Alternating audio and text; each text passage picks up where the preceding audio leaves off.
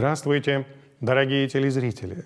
Сегодня, 31 января, в неделю 34 по Пятидесятнице, Православная Церковь совершает память преподобного Афанасия Сяндемского-Вологодского. В конце 15 столетия между многочисленными подвижниками древней Валаамской обители подвязался инок Афанасий, ученик и самолитвенник пустынножителя Александра, работавшего Господу в тесной пещере одного из Валаамских островов.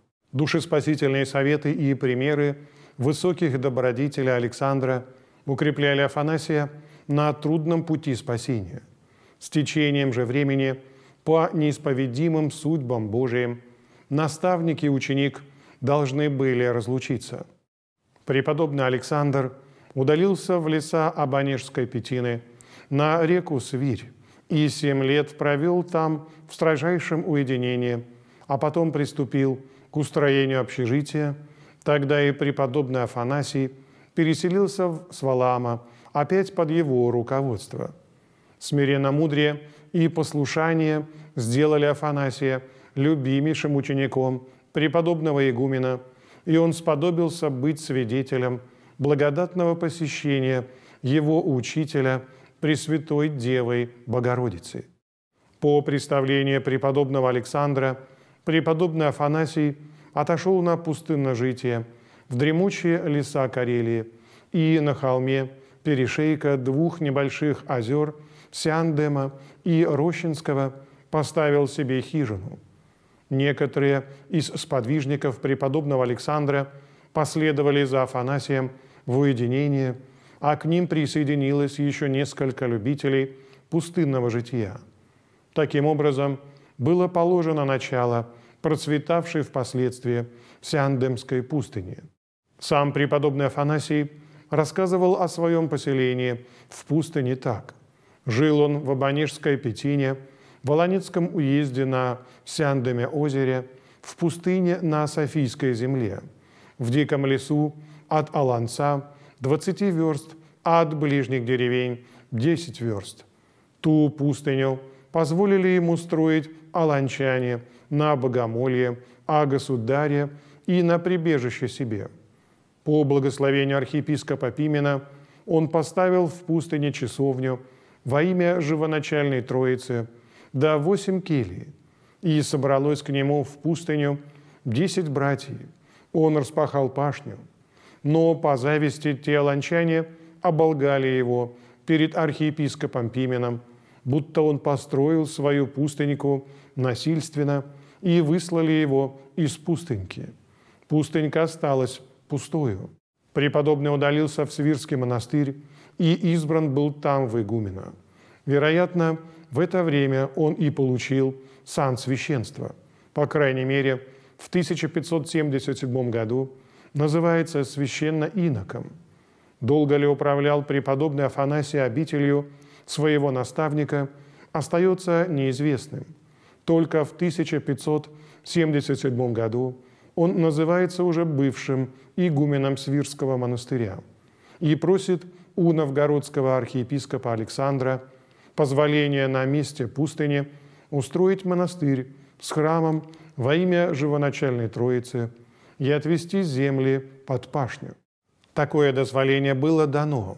Отведена монастырю и пашня по одной версте во все четыре стороны. Монастырь был освобожден от пошлин в пользу новгородской Софийской казны. Преподобный служил примером братья в трудолюбии и терпении, и вся братья трудами рук своих добывали себе пропитание. Основатель обители был и наставником нового братства. Для собственного же научения имел он частые духовные беседы с преподобным Андрианом Андрусовским, валамским схемонахом, основавшим около того же времени иноческую обитель на берегу Ладожского озера. Подвижники жили в верстах в двадцати один от другого.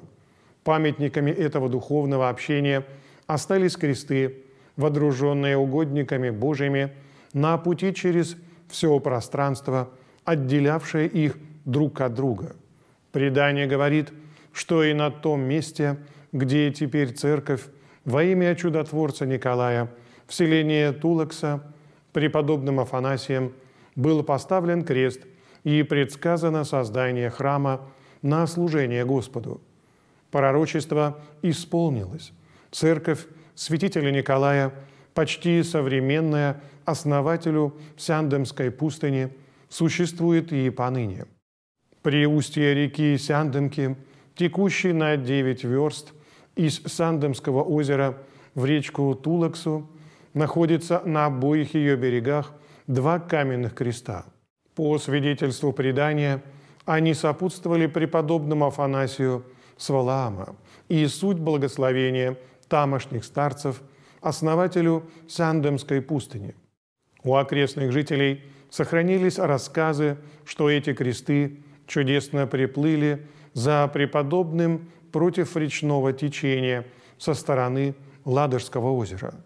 По древнему же сказанию, угодник Божий Афанасий последние годы святой жизни своей провел в уединении на одном из островов озера Сандема, который называется и доселе святым. Преподобный Афанасий приставился в своей пустыне и погребен на одном из мысов Рощинского озера, где потом над могилой его сооружена церковь во имя святителя Кирилла и Афанасия, патриархов Александрийских. Дорогие братья и сестры, сегодня также совершается память святых, святителя Афанасии и Кирилла, архиепископов Александрийских, преподобных схемонаха Кирилла и схемонахини Марии, родителей преподобного Сергия Радонежского, праведного Афанасия Новолодского, преподобного Маркиана Кирского, священномученика Михаила Колгополова Пресвитера, священномученика Евгения Исацкого Пресвитера, священномучеников Владимира Зубковича, Николая Красовского, Сергия Лебедева, Александра Русинова Пресвитеров.